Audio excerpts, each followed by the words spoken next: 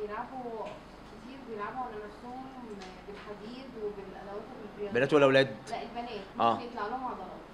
دي مقولة مقولة إن أنا اللي في بنات بتخاف إن أنا هيطلع لي عضلة ولعبت جيم وحديد ده ده أمر خاطئ لأن ده متحكم في الهرمونات.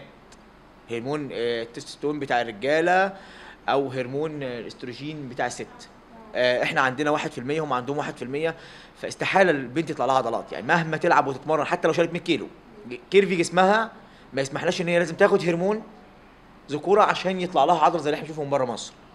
لكن لو لعبت 100 سنة يعني أنا عندي. يعني يعني الرجالة أصلا بتموت عشان تعمل عضلة. الست استحاله تعمل العضله دي في الطبيعي. لكن مهما لعبت ما فيش المش...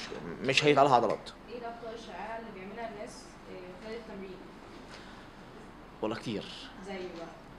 يعني أنا ما هو أنا إني. يعني أول حاجة إيه إيه عشان أقول لك فيها ما كتير يعني حاجات كتيرة جدا منهم مثلا إن في آه، آه، ستات مثلا مدربينهم بيخلوهم مثلا لو هو جايب بار حديد يحط 10 كيلو هنا طاره واحدة وإنها خمسة وخمسه يقول لك هما الاثنين عشرات. لا هو الموضوع الاقسام مش مظبوط.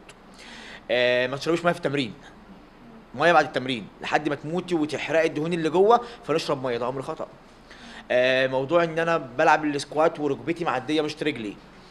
آه، موضوع ال diet ان أنا ممكن اي بنت جاية لي اعمل لها diet كده بورقه واقول لها زي دكاتره التج... يعني بتوعات ال diet بيبقى عندهم روشتات كده كتيره قطع روشته خدي اللي هو إيه